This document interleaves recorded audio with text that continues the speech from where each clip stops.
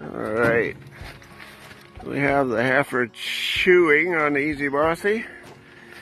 And we'll see how she reacts here after some local anesthetic.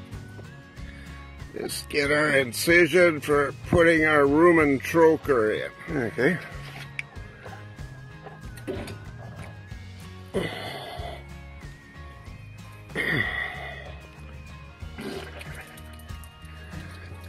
Uh, these trocars screw in quite nicely. Hold the rumen surface up to the body wall so we don't get rumen leakage.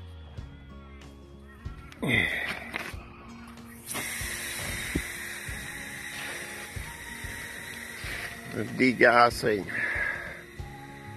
We're not sure what has caused this uh, heifer's chronic bloat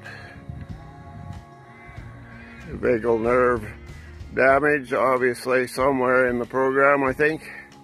Yeah, so we've got our uh, procedures done, our simple surgical procedures. Used Easy Bossy to pacify her for intramuscular injections, as well as a light epidural because she was irritated from uh, a rectal exam and the pressure she's endured chronically from the bloat. So she's degassed, and I'll show you in the paddock. There's our heifer. And she's eating some.